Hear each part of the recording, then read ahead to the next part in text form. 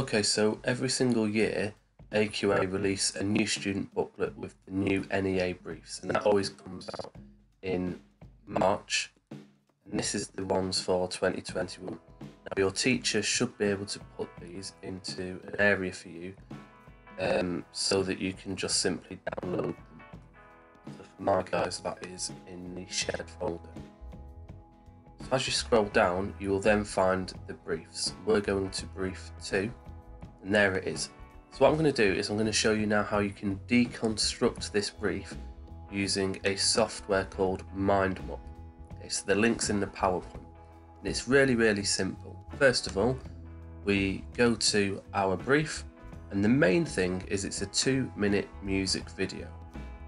So I can copy that, go across to MindMup, and click on Get Started. Create a new map, simply double click and paste in the main thing, which is to create a two minute music video for an established music artist or band. And it's a really simple case of just copying and pasting your brief across. So it's to be used across internet platforms.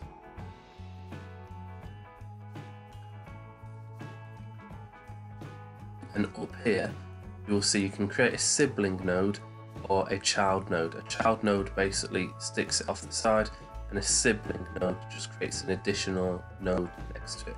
So I'm going to create a child node and paste in some of these. These are the sub requirements. Now you'd be surprised how often people get the main part of the brief wrong because they didn't establish what it was actually asking. They've got sidetracked by minimum requirements and other things and they've missed the main point and that's why this method is so so useful.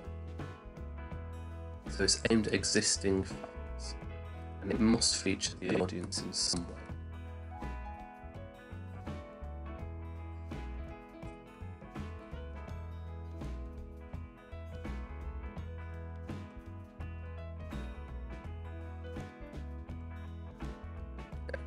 So at least two filming locations. These are the minimum requirements now.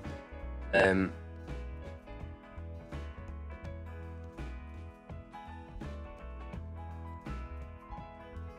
we can see how we can move this along into different areas.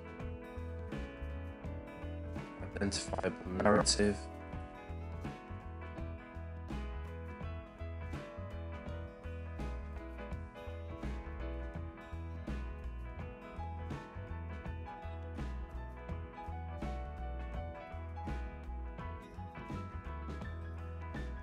So we've already covered that there.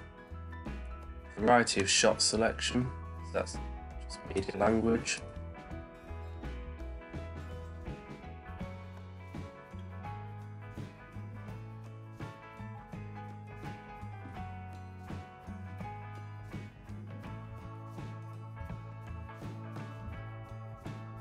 This is interesting, the diegetic sound.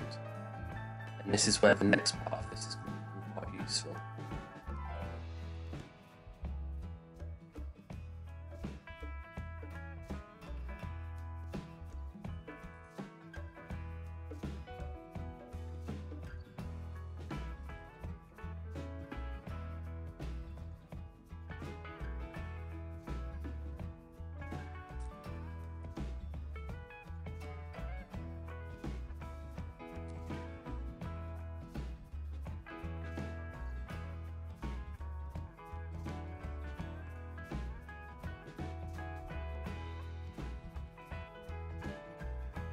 Now this bit's quite interesting as well, probably worth talking about in case it comes up again. You might be wondering, what's the difference here? It's asking um, some identifiable narrative, then over here it's saying narrative codes to engage and include the audience. So what we're talking about here is down here we're talking much more about narrative in terms of Propp, or binary opposition, whereas up here we're talking more about enigma you know that cliffhanger, how we can hook the audience in, maybe even the mode of address that you use to include the audience. So, um, two slightly different things there. So you might be wondering why they're different. And then, So it goes without saying really that, it's media language. So I'm actually going to add that onto here. That is actually a subsection. Variety of shot selection, framing and camera movement, editing to create meaning. It's the same thing, but this is just including music.